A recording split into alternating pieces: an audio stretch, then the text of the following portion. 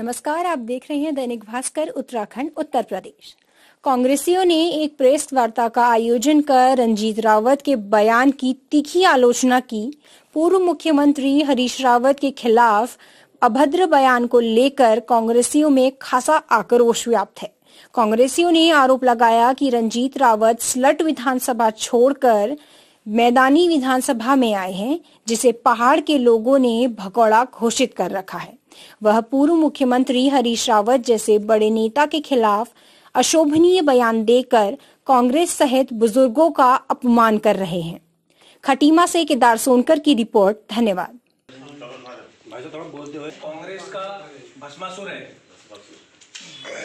रावत जी के दो साल के कार्यकाल में इसने सरकार को पूरा बदनाम करने का प्रयास किया।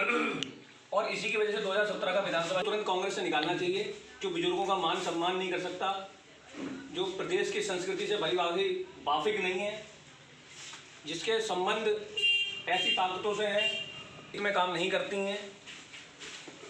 ऐसे आदमी को तुरंत मैं प्रीतम सिंह जी से निवेदन करता हूँ कि इन्हें निकाल कर कांग्रेस पार्टी को दोबारा से प्रदेश में हरीश रावत जी के नेतृत्व में खड़ा करें, जिससे कि कांग्रेस सरकार आ सके। चालीस सेकेंड लगभग तो चाहिए ना। तुरंत भैया इसका माहौल लग रहा है कांग्रेस की गवर्नमेंट आ सकती है। पुतला बोल दो और उस पर ठाकुर बैठेंगे। और यही बोल दो। अगर माफ़ी नहीं मांगी तो पुतला गोविंद कह दो। नहीं एक मात्र मांगे उसे निकाला जाएगा उस पार्टी से।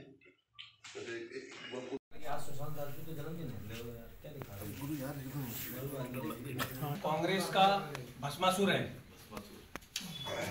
रावत जी के दो साल के कार्यकाल में इसने सरकार को पूरा बदनाम करने का प्रयास किया।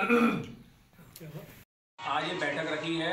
ये रणजीत रावत रावत के उस बयान के खिलाफ रखी, जिसमें उन्होंने कहा था कि हरीश रावत जी उम्र के ऐसे पड़ाव में पहुँच गए हैं, जहाँ से उनका मानसिक संतुलन बिगड़ गया है और उन्हें अब राजनीति से संन्यास लेना चाहिए। इसके खिलाफ हमने ये बैठक रखी है। हमारा ये कहना है कि कांग्रेस के एक तृतीय श्रेणी के नेता रंजीत रावत जो कि पूर्व में अपनी कार्यशैली से विवादित रहा है, जो सल्ट विधानसभा छोड़ के मैदान के रामनगर विधानसभा में आया और पहाड़ के एक तरीके से देखा जाता है तो लोगों में भगोड़ा के रूप में जो प्रचलित है, ऐसा व्यक्ति हरीश रावत जी की कार्य प्रणाली पर आज सवाल सवाल निशान लगाए लगाए, लगाएगा। उसके खिलाफ हम लोगों ने प्रेस कॉन्फ्रेंस करी है और प्रीतम सिंह से मांग करी है कि रंजीत रावत से इस बयान की वापसी दिलवाई जाए, उससे खेत प्रकट करवाया जाए। और अगर ऐसा नहीं होता तो तुरंत ऐसे आदमी को कांग्रेस से निकाला जाए निकाला जाए, जिससे कि कांग्रेस को बुज़ुर्गों के अपमान के खिलाफ जो नुकसान हो सकता है, ऐसे नुकसान से कांग्रेस बचे और कांग्रेस दोबारा से प्रदेश की सत्ता में आए।